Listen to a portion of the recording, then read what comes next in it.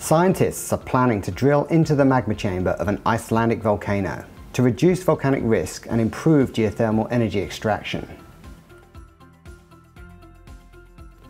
UC scientists have travelled to Iceland to study ancient magma chambers exposed by erosion to inform the drilling plans.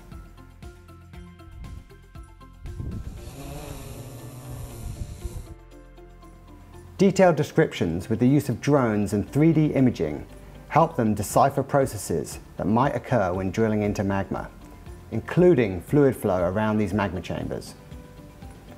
Using the latest Kiwi software technology, Leapfrog, this work will be combined with other geological, geophysical and geochemical data to help scientists to know exactly where to drill to find magma.